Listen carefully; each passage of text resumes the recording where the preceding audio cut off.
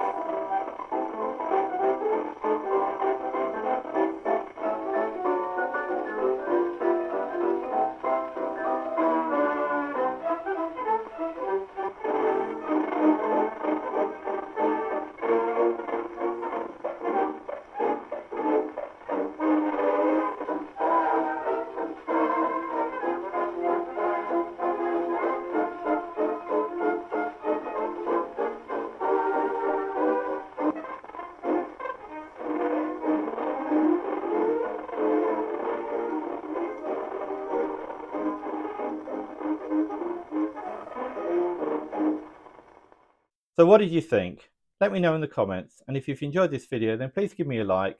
And also, how about watching this one? Thanks for watching, and I'll see you in the next one.